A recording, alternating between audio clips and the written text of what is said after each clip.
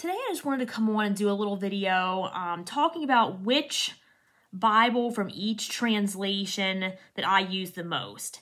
Now, I'm probably not going to represent every translation here. I hit most of them, but if there's one that you love that I didn't that I didn't say on here, it's just because I haven't really been using the translation lately. So, these are not the only Bibles I use, of course, but I'm just going off the last couple of weeks here, which Bible from each translation I have used the most.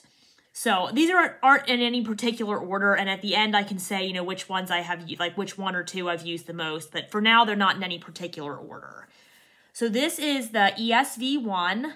This is from um, Allan Bibles, and I like this one because it's nice and small and portable. So I've been using that one um, on the go because I'm a teacher, so I've recently gone back to work full time, so I'm on the go a lot more lately. So this is one that I can um, put in a case and take along with me on the go. So that's the Allan ESV one. Um, I do have my, my ESV journaling Bible. Um, full disclosure, I'm trying to do the Heart Dive 365 videos with those. I've not been as good as at that since I've gone back to work just because I've said this before, they're wonderful. It's a really great plan. But some of the videos are like close to an hour and sometimes I want to do other devotions and other studies too. So I don't get to it every single day, but I am still doing that too in case anyone was wondering why I didn't have my journaling Bible in this stack. Just haven't been as good since I went back to work, but hopefully at least on the weekends I can catch up a little more. Anyway, this is the NASB 2020 single column personal size. This Bible's from Holman. Again, I choose this one because it's a good reader. Um, it's something I can keep near my bedside. It's nice and portable. I can take it on the go and it's just one that I can um, pop open quick and read for whatever, or study, whatever my purpose is. So I've been using that one a lot. And then this one is New King James Version. This is the large print reference Maclaren Bible. Um, so just, again, this is, I've been using this one a lot lately. I just love the bold font. Sometimes at the end of the day, you know, I'm tired, my head might hurt a little bit. I just, you know, might not be at my best. So I like this one because the font's really nice and bold, so it's really easy for me to read. It's not hard on my eyes, so that's one I've been picking up a lot lately.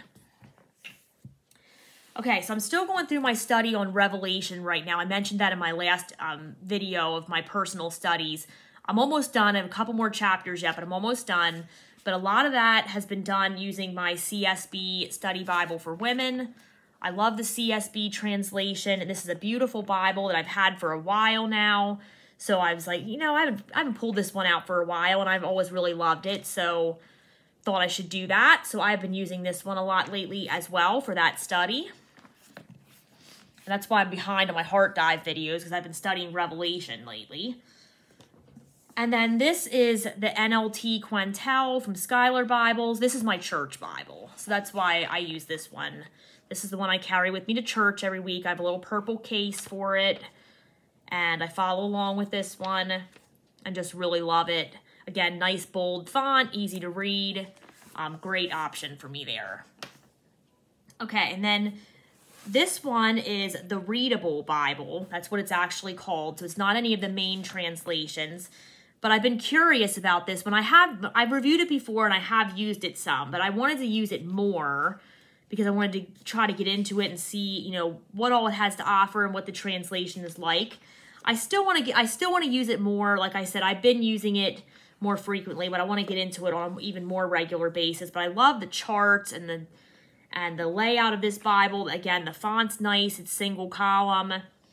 Um, probably see a pattern here. Nice, bold, easy to read font is something that I like, especially when I'm on the go. So this one has been one that I've been picking up more frequently lately as well, and I'll continue to update you on that as I use it.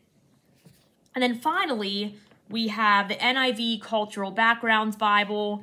Um, this is from Zondervan. I've talked about this one a lot too, but when I'm doing deep dive studies, this is one that I really like to use. If you're interested in, kind, in a study Bible, it kind of highlights the culture of the time that the Bible was um, written and lived out, then this is a great option for you. So I really like this study Bible and I've used it a lot as well. So, okay, so those are the ones that I've used the most. I tried to, there's some others too, but I tried to pick one from each of the different translations that are being used the most. So which ones win the day that are being used the most frequently? Let's see, surprisingly, I mean, not surprisingly, because it's a really good Bible, but it's not one that I featured a lot on the channel, but it's been this one. It's been the NKJV um, large print reference Maclaren Bible. This past week, I had it by my bedside, and that's the one I was just grabbing the most frequently. For devotionals, I've been doing New Morning Mercies.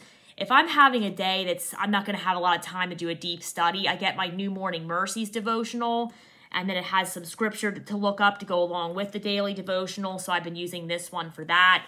So that's probably what I've been doing the most frequently this week. Or I'm also doing the Grace Bible reading plan. I think I mentioned that before too, from How to Faith a Life. So I've been using that one this week for that as well. And then for study, it would probably be the CSB Study Bible for women these last few weeks because, like I said, I've been using it to go through Revelation. So that's the one I've been grabbing for that most often.